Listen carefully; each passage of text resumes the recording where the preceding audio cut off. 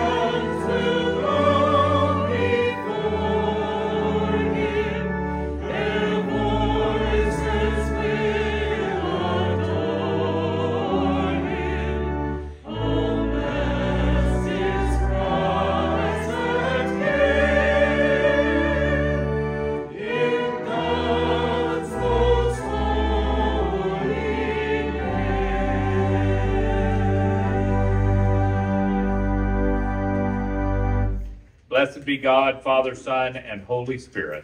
And blessed be his kingdom, now and forever. Amen.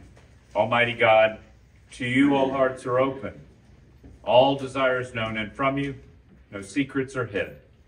Cleanse the thoughts of our hearts by the inspiration of your Holy Spirit, that we may perfectly love you and worthily magnify your holy name, through Christ our Lord. Amen.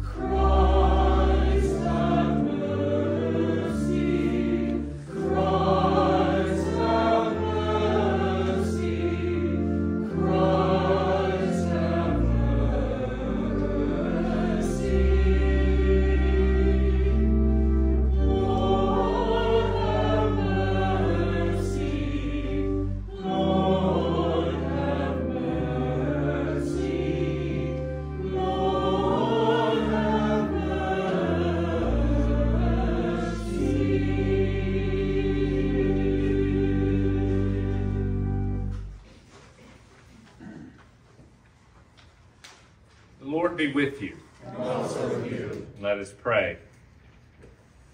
Merciful God, who sent your messengers, the prophets, to preach repentance and prepare the way for our salvation. Give us grace to heed their warnings and forsake our sins, that we may greet with joy the coming of Jesus Christ, our Redeemer, who lives and reigns with you and the Holy Spirit, one God, now and forever. Amen. Please be seated for the reading. A reading from the book of Isaiah. A shoot shall come out from the stump of Jesse, and a branch shall grow out of his roots.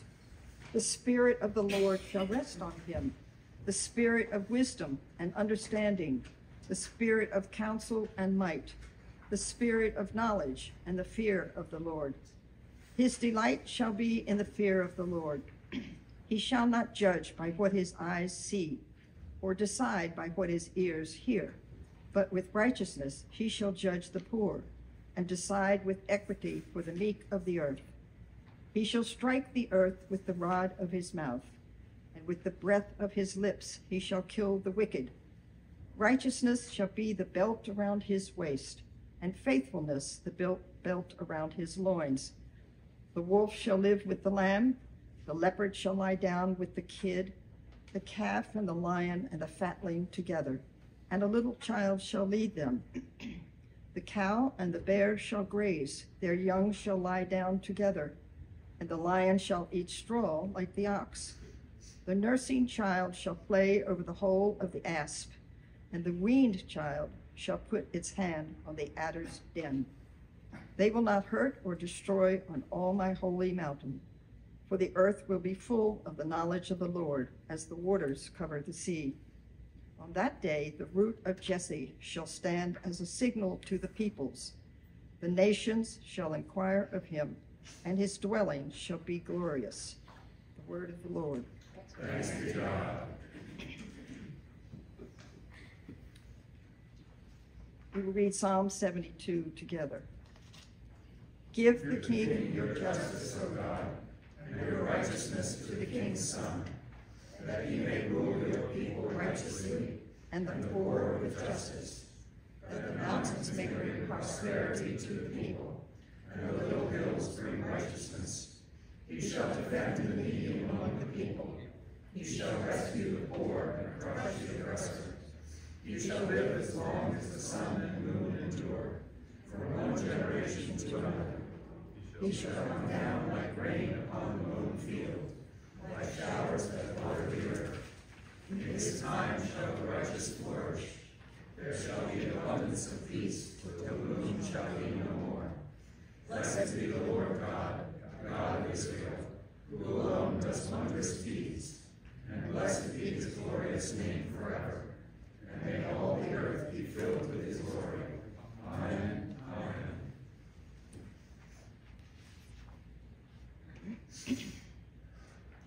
Reading from the letter of Paul to the Romans. Whatever was written in former days was written for our instruction so that by steadfastness and by the encouragement of the scriptures we might have hope. May the God of steadfastness and encouragement grant you to live in harmony with one another, in accordance with Christ Jesus, so that together you may you may one voice with one voice glorify the God and Father of our Lord Jesus Christ. Welcome one another, therefore, just as Christ has welcomed you for the glory of God. For I tell you that Christ has become a servant of the circumcised on behalf of the truth, truth of God, in order that he might confirm the promises given to the patriarchs, and in order that the Gentiles might glorify God for his mercy. As it is written, quote, Therefore I will confess you among the Gentiles and sing praises to your name. And again he says, quote, Rejoice, O Gentiles, with his people. And again, praise the Lord, all you Gentiles, and let all the peoples praise him. Again, Isaiah says, The root of Jesse shall come, the root of Jesse shall come, the one who rises to rule the Gentiles. In him the Gentiles shall hope. May the God of hope fill you with all joy and peace in believing, so that you may abound in hope by the power of the Holy Spirit. The word of the Lord. Thanks be God. Never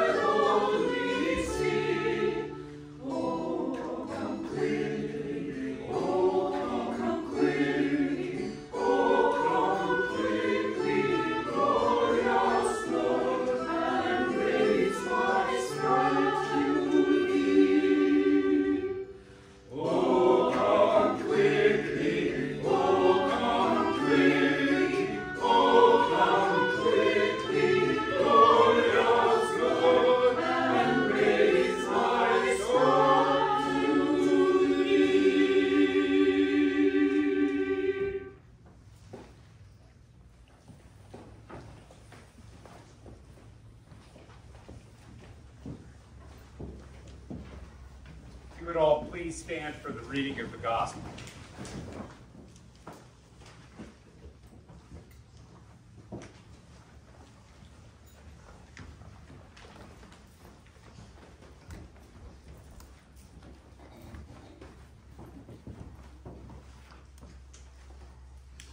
The Holy Gospel of our Lord Jesus Christ according to Matthew.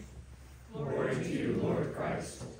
In those days, John the Baptist appeared in the wilderness of Judea, proclaiming, Repent, for the kingdom of heaven has come near. This is the one of whom the prophet Isaiah spoke when he said, The voice of one crying out in the wilderness, Prepare the way of the Lord, make his paths straight. Now John wore clothing of camel's hair, with a leather belt around his waist and his food was locust and wild honey. Then the people of Jerusalem and all Judea were going out to him, and all the region along the Jordan, and they were baptized by him in the river Jordan, confessing their sins. But when he saw many Pharisees and Sadducees coming for baptism, he said to them, You brood of vipers, who warned you to flee from the wrath to come? Bear fruit worthy of repentance. Do not presume to say to yourself, We have Abraham as our ancestor, for I tell you, God is able from these stones to raise up children to Abraham. Even now, the axe is lying at the root of the trees. Every tree, therefore, that does not bear good fruit is cut down and thrown into the, water, the fire. I baptize you with water for repentance, but one who is more powerful than I is coming after me.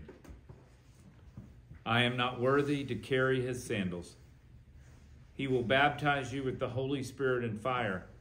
His winnowing fork is in his hand, and he will clear his threshing floor and will gather his wheat into the granary.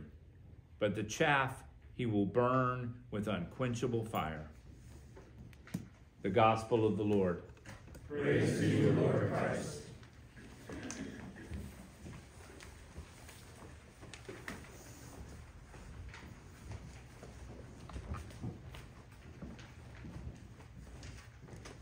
Please pray with me.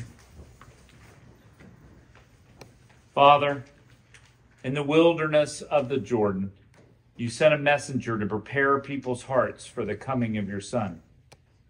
Help us to hear his words and repent of our sins, so that we may clearly see the way to walk, the truth to speak, and the life to live for him, our Lord Jesus Christ.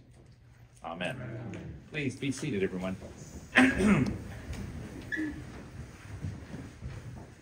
the last two weeks' gospel lessons have been all about getting ready getting ready for the coming of Jesus in some way.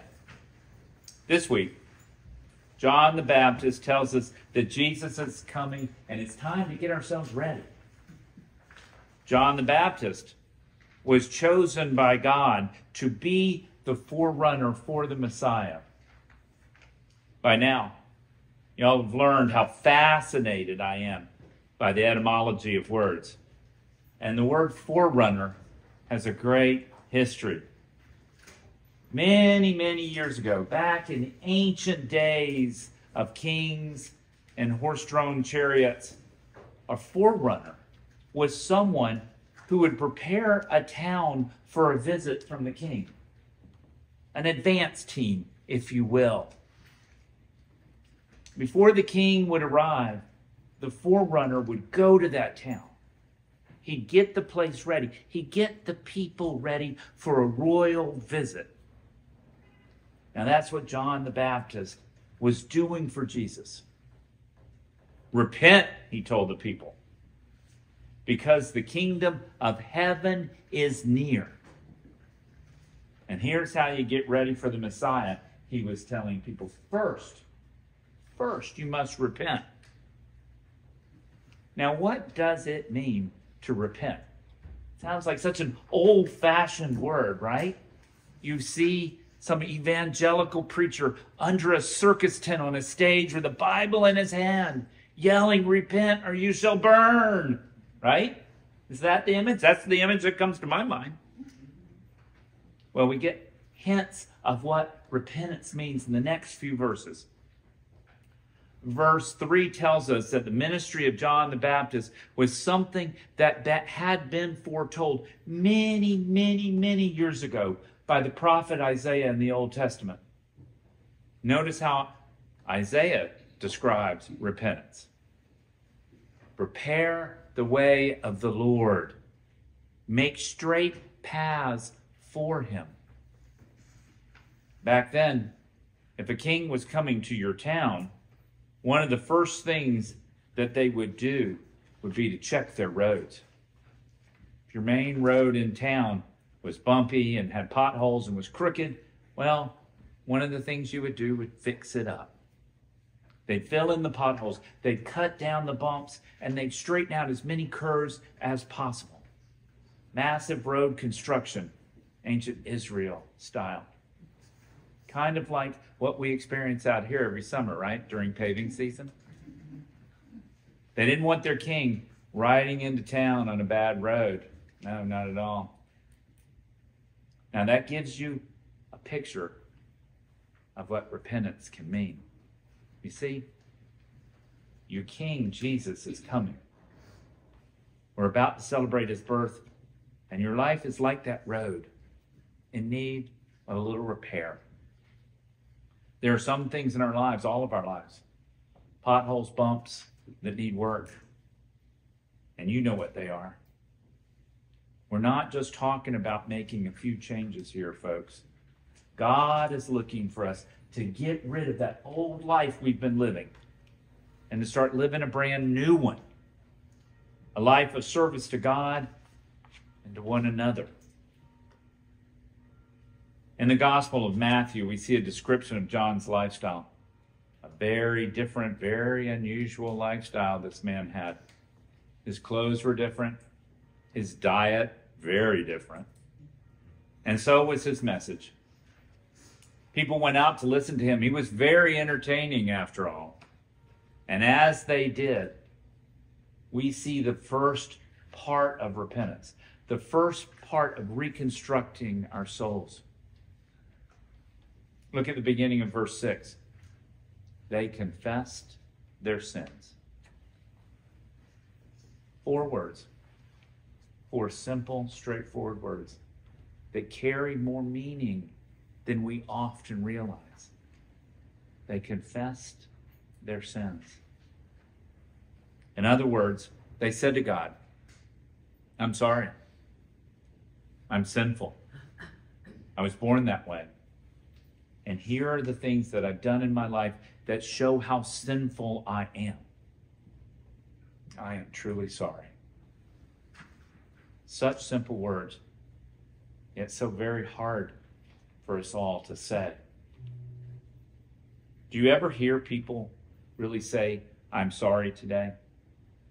To me, it seems very rare. I've noticed that when celebrities or politicians get into some kind of trouble.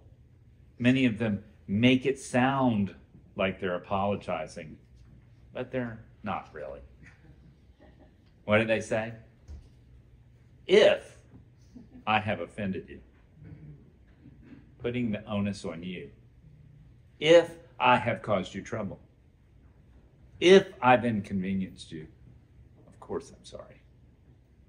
What's missing from that is admitting guilt, saying, Oh my gosh, I made a huge mistake. I am so very, very sorry. But what they're really saying is, I haven't done anything wrong. You're just upset or been out of shape unnecessarily. There's no admission of guilt, it's a fake apology. In our culture, that's what passes for an apology today. Don't admit you're wrong. Just express some remorse for how you're feeling about my actions or my words. Folks, that's not what God is looking for from us. The first part of repentance is admitting to God your guilt. God, I'm selfish. God, I'm greedy.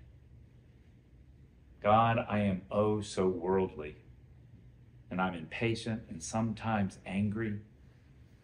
God, I have ignored you and have made a million excuses for not worshiping you and praying to you. If you want to get ready for Christ, step number one confess your sins. Step two is actually receiving God's forgiveness. This is another hard thing to do. When we finally recognize our sins and admit to them, the guilt is so heavy that it's hard to receive that all encompassing forgiveness of God. But you know what? What happened to those people in the desert that day with John the Baptist after they confessed their sins? Well, they were baptized. Bapti- baptism is one of the ways that God forgives people. And do you realize that every Sunday, when the forgiveness of sins is proclaimed to us, there's a, refer- a reference to our baptism? What happens after the sermon? We confess our sins to God as a congregation. And I rise up and have the great honor of absolving you of all your sins in the name of our Lord Jesus Christ. That happens every single week, right here. But can also happen in the quiet of your own home. When you pray to your Maker and you confess your sins and you ask for forgiveness, when you rise up, you have been forgiven.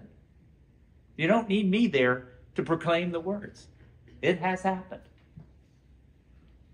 But baptism, oh, what a beautiful moment that is. Most of you, no doubt, were baptized when you were little babies. So you do not remember this beautiful moment, beautiful moment for me. As I hold those tiny little ones and I say, as I bear, mark a little cross with chrism oil on their foreheads, and I say, You are forgiven in the name of the Father and of the Son and of the Holy Spirit. Those words are a reminder of all of our baptisms. God has taken away your sins by the blood of Jesus Christ. Now, you can also receive God's forgiveness another way through that other sacrament, the Eucharist. There, we're given the very body and blood of Jesus Christ, which was given and shed for each of us for the forgiveness of all of our sins. There you have it. Step one, confessing your sin. Step two, receiving God's forgiveness. But there's one final step. When John the Baptist saw those Pharisees and those Sadducees coming, he spoke some pretty strong words, didn't he? He called them a brood of vipers. Oh my goodness. Pretty strong indeed. He warned them twice that they were in danger of going to hell. You see, God had revealed to John that these people were just going through the motions. They weren't sincere on the inside, and it was obvious from the way they were living on the outside that they hadn't changed. They really had no interest in changing. They were still selfish and still greedy, still proud and still unloving. John warned them that Jesus was coming to judge them if they continued their ways. They lacked something. The final step of repentance is outward change. You see, if you really want to repent, you must change. That's a reminder we need to hear. All of us at times are spiritually lethargic. I know I'm materialistic, but I don't want to change. I know I'm self centered, but I don't want to change. I'll go to church, I'll hear God's word, but I don't want to make any real changes in my life. I like sinning. After all, it can be a lot of fun. God speaks to our sinful natures this morning, my friends, and warns us that there will be a reckoning. All of us, all of us sitting here or standing here now, this morning, will have a reckoning before God. Just like those Pharisees. And somehow, some way, we will be called out for things in our lives. Now, don't get me wrong, folks. I know making change is really hard. But ask yourself what kind of Christian do you want to be? Peaceful, confident, generous, content, patient, joyful, kind, person of prayer, a person who is growing in God's Word. What kind of Christian do you want to be? Well, ask for it. And ask God to help you achieve that in your prayers. The time to make those changes actually begins right now, today, here. It's not easy or an overnight thing, but tap into the power of God to give you the strength to do the things and make the changes that you want in your life. In this season, when so many people are asking, are expecting so much, so many material things, try asking for these qualities of a follower of Jesus Christ instead. And remember, my friends, Christ is coming. There's no stopping him. He's coming to dispel all the darkness this world is shrouded in. it. oh, so much darkness, right? Let us all heed John the Baptist's work. Let us make our pathways straight and prepare them for Jesus to enter. Enter into our lives. Amen. You would all please stand as you are able and turning to page five, bulletin, join me in the reaffirmation of our faith by reciting the Nicene Creed.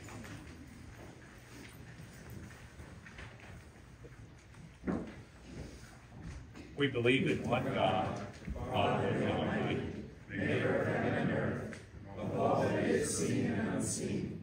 We believe in one Lord Jesus Christ, the only Son of God, eternally begotten of the Father, God from God, light from light, true God from true God, begotten not made, of one being with the Father. Through him all things were made. For us and for our salvation, he came down from heaven. By the power of the Holy Spirit, he became incarnate from the Virgin Mary and was made man. For our sake he was crucified under Pontius Pilate. He suffered death and was buried. On the third day he rose again, in accordance with the Scriptures. He ascended into heaven and is seated at the right hand of the Father. He will come again in glory to judge the living and the dead, and his kingdom will have no end. We believe in the Holy Spirit, the Lord, the giver of life, who proceeds from the Father and the Son. With the Father and the Son he is worshipped and glorified. He has spoken through the prophets. We believe in one holy Catholic and Apostolic Church. We acknowledge one baptism for the forgiveness of sins. We look for the resurrection of the dead and the life of the world to come. Amen.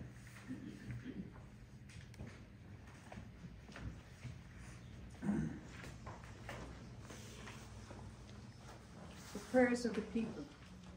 With all our heart and with all our mind, let us pray to the Lord, saying, Lord, have mercy. For the peace of the world, for the welfare of the Holy Church of God, and for the unity of all peoples, let us pray to the Lord. Lord, have mercy. For our bishop and for all the clergy and people, let us pray to the Lord. Lord, have mercy. For our president, for the leaders of the nations, and for all in authority, let us pray to the Lord. Lord, have mercy. For this village of Bridgehampton, for every city and community, and for those who live in them, let us pray to the Lord. Lord, have mercy.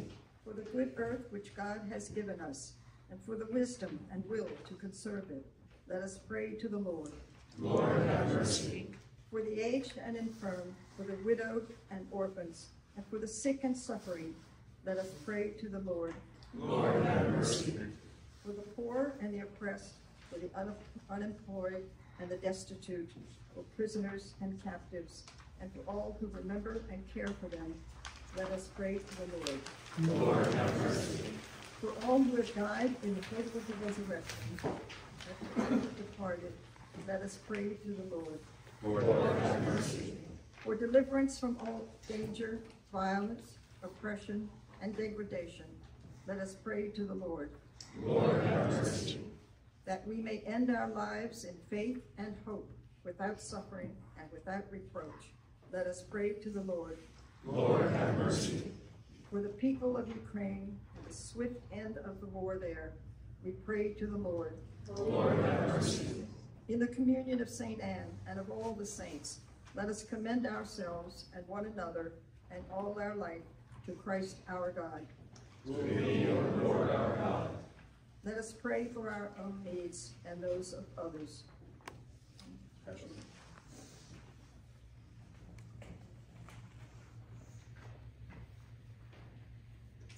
Almighty God, to whom our needs are known before we ask, help us to ask only what accords with your will, and those good things which we dare not, or in our blindness cannot ask. Grant us for the sake of your Son, Jesus Christ our Lord.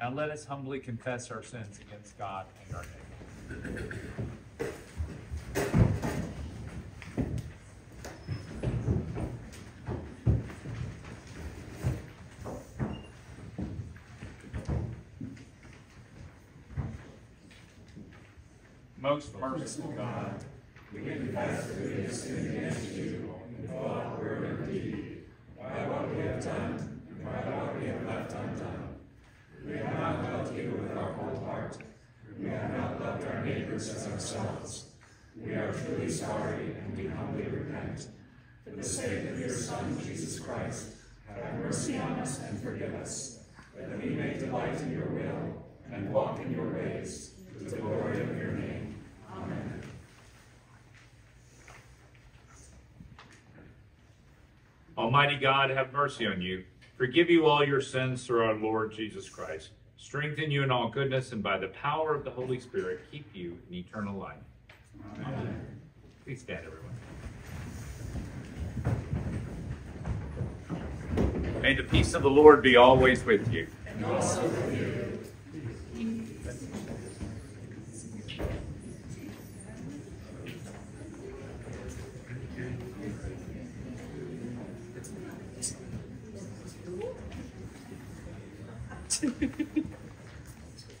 Please, everyone, have a seat. Lots of announcements. It's a busy time. Uh, today at 5 o'clock, we'll be having the Celtic service again here in this church. It's a quiet, meditative Eucharist service, um, about 30 minutes long. Um, everybody who walks out the door says the same thing to me. Gosh, I feel so at peace at this moment after the service. So if you have not um, participated in it or you're just looking for a little peace, I hope to see you back here at 5 o'clock today. We'll have um, uh, two more of those coming up after this week. Um, Maureen's Haven is on the boards, folks, December 13th. The uh, Our big expansion with the bathroom downstairs is, is close to being done. And uh, so we'll be prepared to offer hot meals, hot warm beds and a hot shower for our guests starting in December. But we need volunteers to make that happen. I know uh, that Jane Island has already signed up to do um, the bag lunch, but we need people to make dinner, to make breakfast, to spend the night. Uh, as the host, I asked for Amanda to do that because most of our guests end up being um, uh, men, and I just like that. I feel more comfortable with that. And uh, also to make the beds and then to do laundry after they've left, to do the sheets and the towels. Um, Jen's uh, email is here in your bulletin. You can let her know today or tomorrow what you would like to participate in um, on December 13th. And then we'll be, uh, our building will be hosting it again on uh, December 27th. Our friends down at the Catholic Church are going to be putting, have put together their own team, and they will be using our facilities and our warm shower. Um, uh, so this is a big expansion of Maureen's Haven here at St. Ann's, um, going from once to twice a month. Um, yesterday was the Bridgehampton Association's uh, holiday fair, and um, it was busy. And even in the rain, it looked great. But there are some greenery left over there during coffee hours, some beautiful wreaths and plants and whatnot for your holiday season.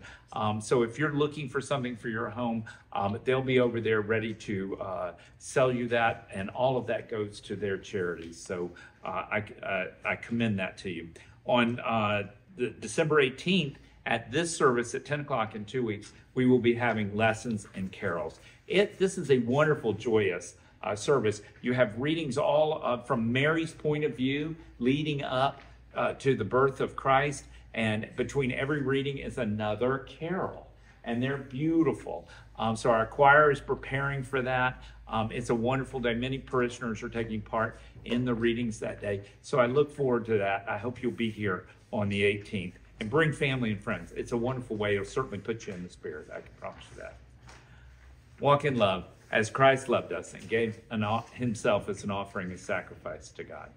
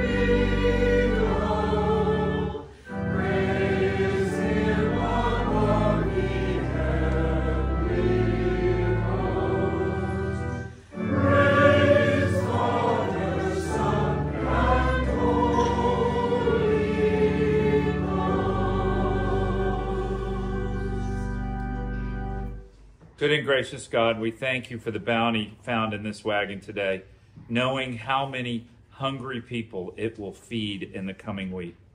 I pray that you will put this food to their nourishment and send people here who are in need, that our blessing box may be a blessing for so many. And I thank you for the people who have brought contributions today and encourage others to do the same in the weeks to come. All this in Jesus Christ's name I pray. Amen. Amen.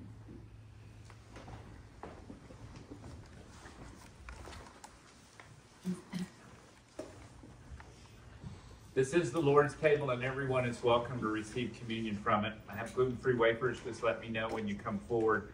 And if you would prefer to come forward for a blessing, just cross your arms like this when you're at the rail, and I will be happy to give you one. Our service continues on page 9 in your bulletin. The Lord be with you. With you. Lift up your hearts. Let us give thanks to the Lord our God. It is right to give our thanks and praise. It is right and a good and joyful thing, always and everywhere. Give thanks to you, Father Almighty, creator of heaven and earth, because you sent your beloved Son to redeem us from sin and death and to make us heirs in him of everlasting life, that when he shall come again in power and great triumph to judge the world, we may without shame or fear rejoice to behold his appearing. Therefore we praise you, joining our voices with angels and archangels and with all the company of heaven, who forever sing this hymn to proclaim the glory of your name.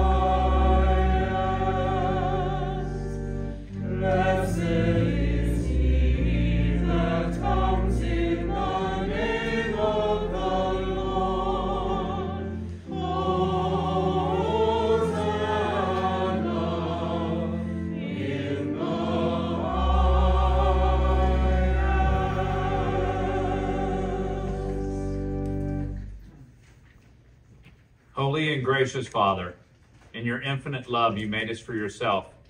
And when we had fallen into sin and become subject to evil and death, you, in your mercy, sent Jesus Christ, your only and eternal Son, to share our human nature, to live and die as one of us, to reconcile us to you, the God and Father of all. He stretched out his arms upon the cross and he offered himself in obedience to your will perfect sacrifice for the whole world. On the night he was handed over to suffering and death, our Lord Jesus Christ took bread. And when he had given thanks to you, he broke it and gave it to his disciples and said, Take, eat. This is my body which is given for you. Do this for the remembrance of me.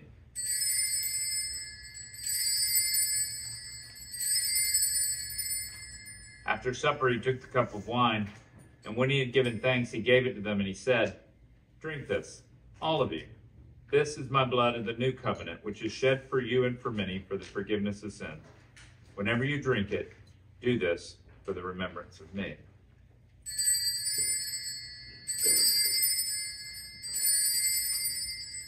Therefore, we proclaim the mystery of faith. Christ, Christ has died, Christ is risen. Christ come again. And we celebrate the memorial of our redemption, O Father, in the sacrifice of praise and thanksgiving. Recalling his death, resurrection, and ascension, we offer you these gifts. Sanctify them by your Holy Spirit, to be for your people the body and blood of your Son, the holy food and drink of new and unending life in him.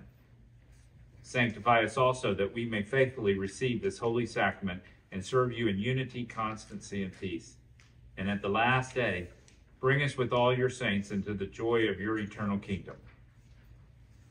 All this we ask through your Son, Jesus Christ, by him and with him and in him, in the unity of the Holy Spirit. All honor and glory is yours, Almighty Father, now and forever.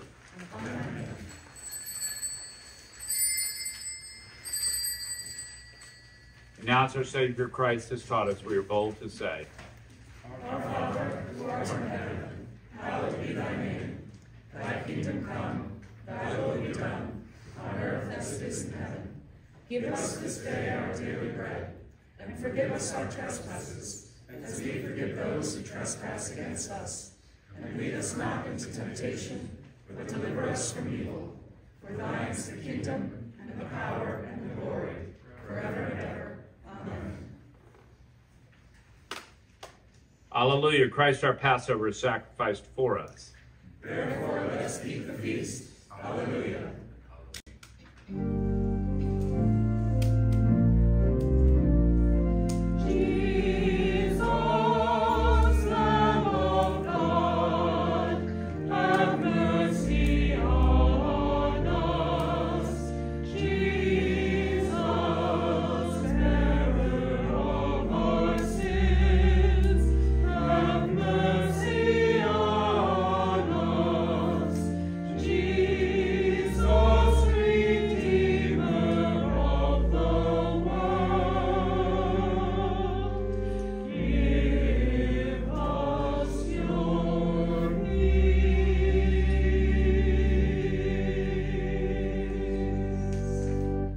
Gifts of God for the people of God. Take them in remembrance that Christ died for you and feed on in your hearts by faith with thanksgiving.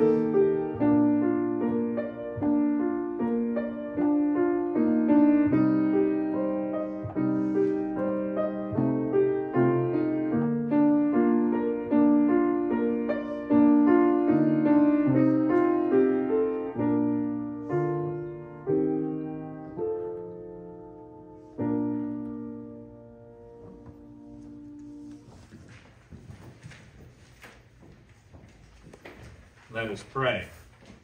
Eternal God, Heavenly Father, you have graciously accepted us as living members of your Son, our Savior, Jesus Christ, and you have fed us with spiritual food in the sacrament of his body and blood. Send us now into the world in peace, and grant us strength and courage to love and serve you with gladness and singleness of heart. Through Jesus Christ our Lord. Amen. May God give you the grace to never sell yourself short, to risk something big for something good, and the grace to remember that the world is too dangerous for anything but the truth, and too small for anything but love. And now, my friends, go in peace to follow the good road, and may God's blessings be with you this day and remain with you always. Amen. Our closing hymn is on page 13. If you'll remain standing and join our choir in singing Hail to the Lord's Anointed.